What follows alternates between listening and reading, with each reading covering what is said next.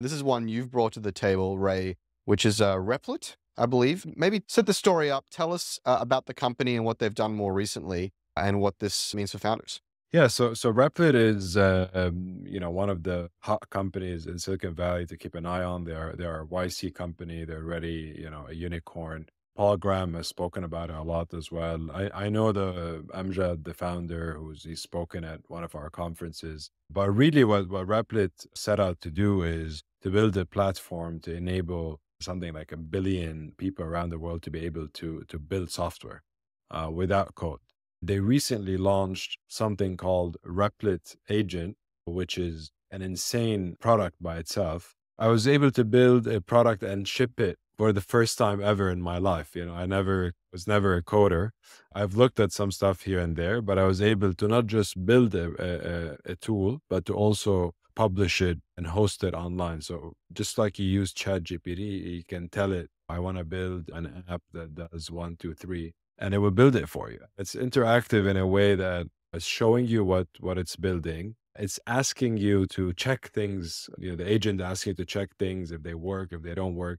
It's almost like having your own development team that's doing stuff for you for a fraction of the cost and for limitless iterations. Now, the, I used it when they first released the the Replit agent um, a couple of weeks ago, it was good, uh, but it had some, you know, there were some issues here and there. Uh, it almost felt like you have a almost incompetent dev team that's that's doing the, you know, the work for you. So, you know, you can ask them to work limitless hours, but it felt that it got stuck at some points. And every time you ask it to build something new, it would break something else. I've heard recently that it's really improved uh, tremendously. They recently, like last week, hosted a, a hackathon with xAI. And a lot of people were talking about how much the product has improved. So I'm I'm I'm excited to to like try it again and see really the level of improvement. But I suggest you give it a try. It's it's really really cool how you can even build a GPT wrapper, you know, app in matter of one hour, maybe like host it put it on a website, create a login, sign up process for it, publish it, and make it available for the public. It's pretty incredible. Just, just to be very clear, we've seen examples of ChatGPT and others write some code, like little snippets of code. We've seen other companies build tools that will kind of generate large quantities of code and put it into the right files and libraries and things.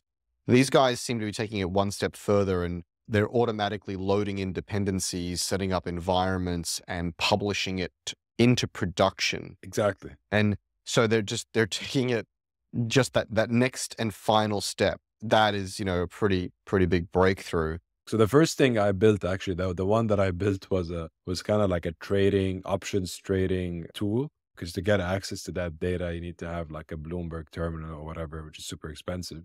So I built some sort of like a options analytics tool for Tesla, specifically Tesla stock. And it worked really well. Uh, and I was able to build it and publish it within like a very short period of time. And that was the first time I built and shipped like a product myself. It's just insane, like thinking where this technology could be in a few years from now, democratizing software uh, engineering to anyone essentially. Anyone can go on and build the, an idea they, they've had or or something they've dreamt about.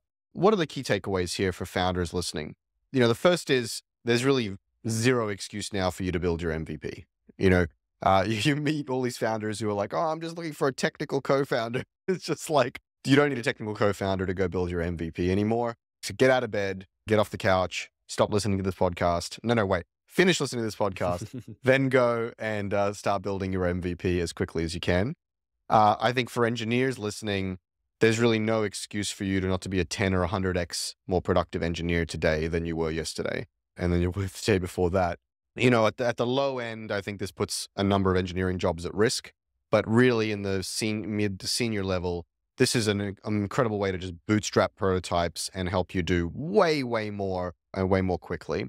I think if you're thinking about startup ideas and business models, I think this affects, you know, I've said this a number of times on the show. I think this changes the nature of vertical SaaS and the business models around a lot of uh, kind of bespoke application development, or rather, the business models around generalized application development. So I think unless you are building a multiplayer experience, a massive multiplayer experience, like a social network or a game, where the rules have to be common amongst all users, or you're building something that manipulates the real world, like an Airbnb or an Uber, it's hard to imagine why somebody wouldn't just generate their vertical SaaS software for themselves and for their immediate small community. So what I mean by that is let's say let's say you're a dentist and you need a CRM for your patients. It's hard to imagine why somebody couldn't just say to their agent, to their personal AI assistant, you know what?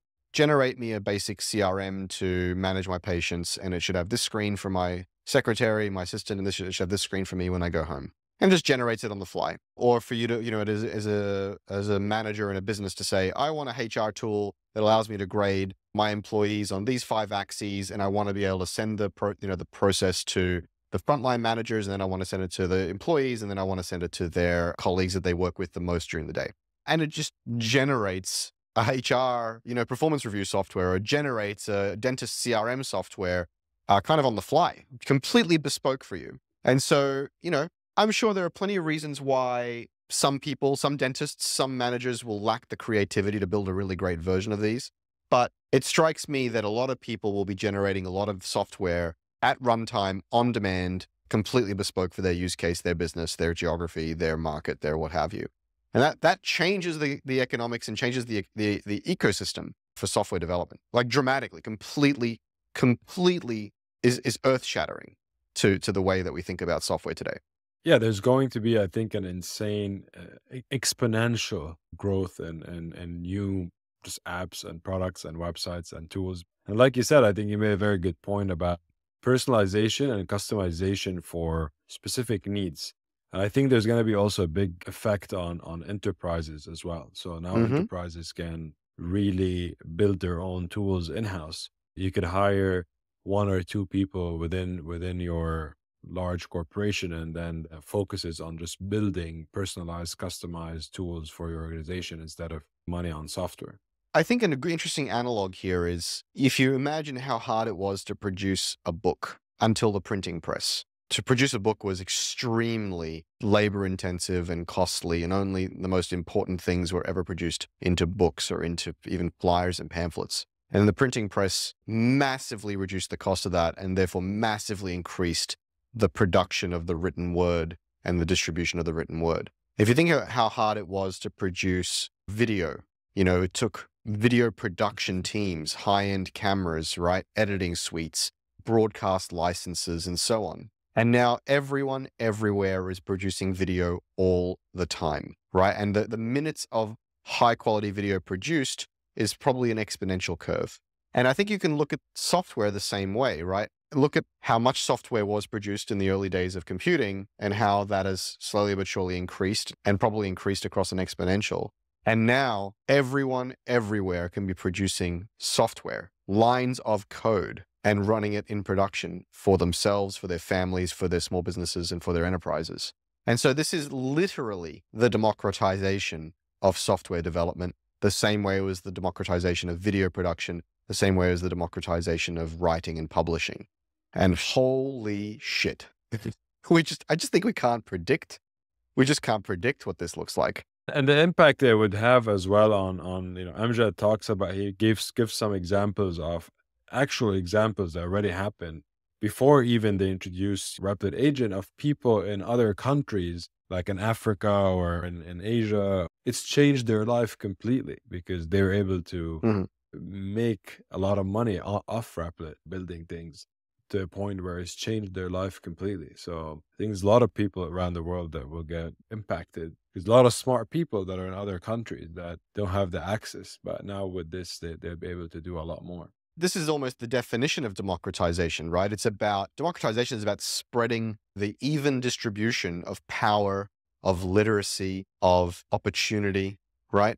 That's what it means. And so if you imagine the impacts on society when reading and writing became democratized, all sorts of smart people who are in the mud and the squalor could suddenly read the Bible for themselves or read and write documents for themselves and transfer knowledge between their family members for themselves.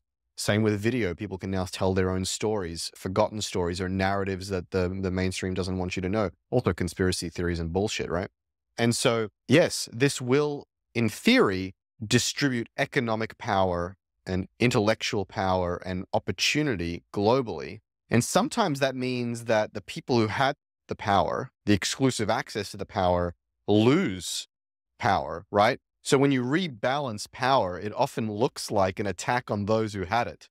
There's a lot of criticism to be leveled at what an Elon would call a woke mind virus, right? Extreme left wokeism. And I think there is legitimate criticism of that. But there is also some truth and necessity to it, which is the rebalancing of power between certain groups to other groups. And, and certain disadvantaged groups are now getting more advantage or more equal access to things. There's also this a little bit of pretending going on of like, well, it shouldn't worry you guys who are in power. It's all good. It's just spreading the love. But no, they are concerned about something real, which is that they are, by definition, losing an advantage, right? And people, I think it doesn't serve anyone to pretend that's not the case. Because when a certain group uh, that was used to being powerful and advantaged is losing that advantage, you're going to see backlashes. You're going to see potentially violence. You're going to see all sorts of stuff. And so this is I'm just broadening this out, right? There's, there is a lot of examples of rebalancing of power, of access, and so it's, on. It's yeah, it's partly rebalancing or even transfer of of that power. Part of it is democratizing. Well, rebalancing yeah. requires transfer, right? Rebalancing requires transfer. It's and so my point is only that we should not be pretending everyone's going to be fine. No, people who are used to having an advantage are going to lose some of that advantage. Of course, yeah. I'm not saying that's a bad thing. I'm saying we shouldn't pretend it's not happening because it means we're not engaging with the truth of it. That's all I'm saying. Yeah, the analogy used, I think, is you know frames it in a, in the right way. What happened to written media or the press, and then what happened to video and all of that. You know, there's been a big shift from where it used to be and people who controlled it back in the day to those who control it now, or maybe control it to a less lower extent. But I think it's a, yeah, it's it's a good way to to frame it, and that's what's happening with software.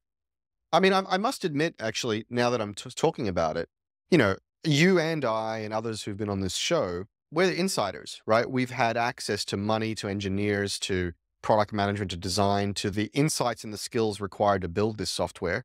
And we've benefited from the value creation and the monetization of that.